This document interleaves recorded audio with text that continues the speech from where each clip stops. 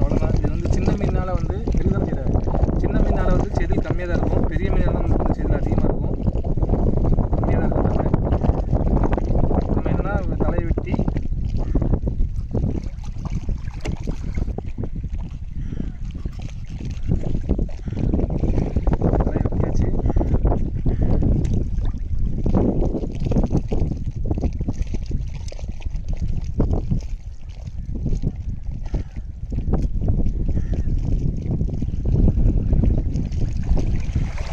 வெட்டி குடல் மட்டும் எடுத்துட்டு நம்ம வந்து அப்படியே அவிக்க போகிறோம் இந்த பூவை எடுத்துக்கிடுவோம். பூ எடுக்கிறோம்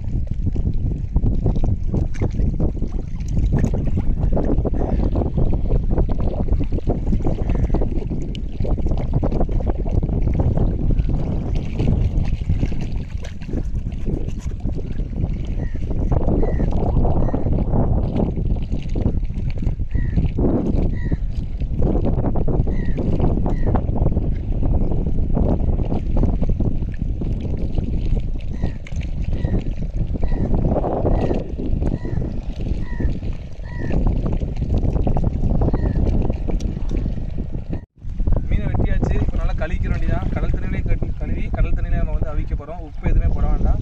அதில் உப்பே நம்மளுக்கு வந்து மீனில் நல்லா ஏறிடும்.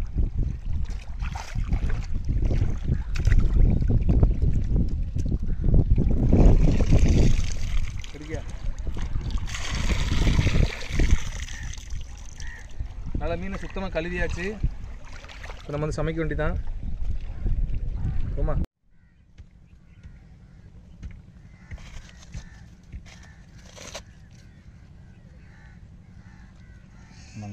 ஆமாம் அந்த எரியுதுப்பா.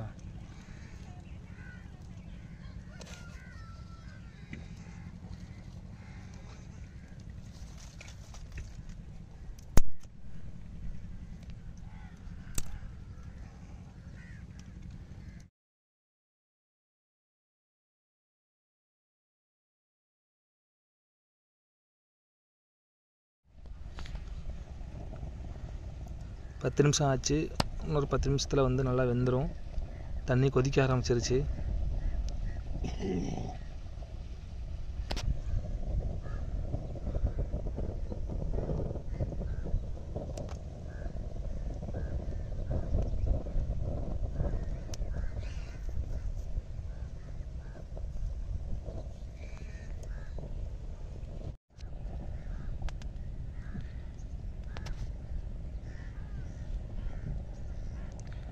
அது கொதிக்க ஆரம்பிச்சிருச்சு.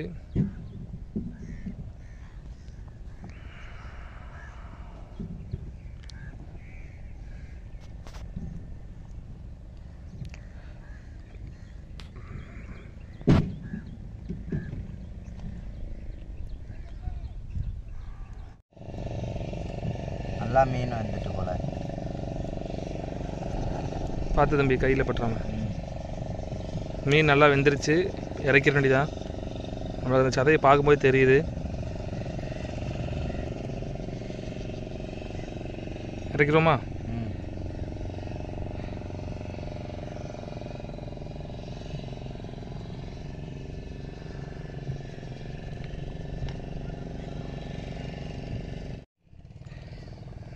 மீன் நல்லா வெந்துருச்சு. எடுக்க முடியல பிஞ்சிருது. பிஞ்சிரு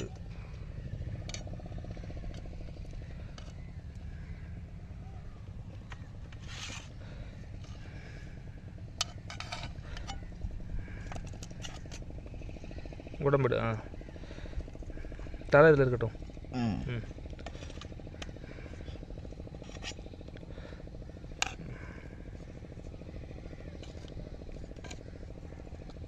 சரியான சூடாக இருக்கு சூடாக இருக்குண்ணே. ரைட்டு. சாப்பிட வேண்டியதான்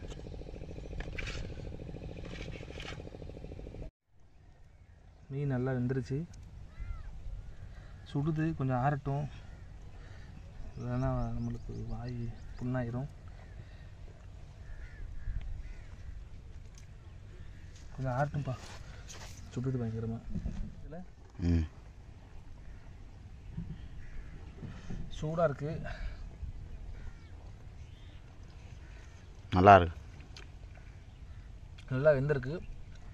நாங்கள் இது மாதிரி தான் வந்து உப்புலாம் போட மாட்டோம் முக்காசி நம்ம வந்து கடல் தண்ணியிலே வந்து மீனை அவிச்சிருவோம். கடலுக்கு போயிட்டு வரும்போது அப்படி தான் சைலன்சரில் வந்து நம்ம என்ன செய்வோம் அப்படின்னா கடல் தண்ணியை அள்ளி நம்ம பிடிச்ச மீனை உள்ளே போட்டு நம்ம வந்து அவிச்சு சாப்பிடுவோம். செம்ம டேஸ்ட்டாக இருக்குது உங்களுக்கு இந்த வீடியோ பிடிச்சிருந்துச்சு அப்படின்னா மறக்காமல் லைக் பண்ணுங்கள் ஷேர் பண்ணுங்கள் கமெண்ட் பண்ணுங்கள் மறக்காமல் வந்து மே கமெண்ட் பண்ணுங்கள் வீடியோ எப்படி இருந்துச்சுன்னு கமெண்ட் பண்ணுங்கள் இப்போ நம்ம சாப்பிட வேண்டியதான் நானும் மறுபடியும் சாப்பிட போகிறோம் நல்லா வெந்திருக்கு பாருங்கள் சுடுது பயங்கரமாக கை வைக்க முடியல.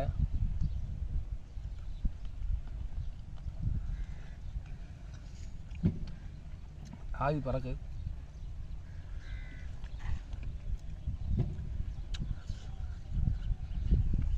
புட்டு மாதிரி இருக்கா? செம்ம டேஸ்ட்டாக இருக்குது அதுலேருந்து பாறை மீன் வந்து ரொம்ப ருசியாக இருக்கும். வத்தவ பாறை.